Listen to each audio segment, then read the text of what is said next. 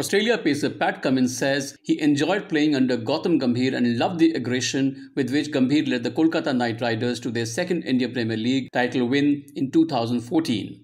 Cummins was involved in a candid chat during a recent Q&A session on Instagram from his hotel room in Chennai. Kolkata Knight Riders last won the IPL title in 2014, which was their second triumph under former skipper Gautam Gambhir before he went to Delhi Capitals in 2018. Yeah, enjoyed playing on the GG. Um, it was always really aggressive as a captain, which I loved. Favourite moment was my first IPL, I think it was 2014, uh, with Kolkata winning the title and then going to Eden Gardens the next day, seeing a packed house, seeing hundreds of thousands um, of fans on the street was crazy.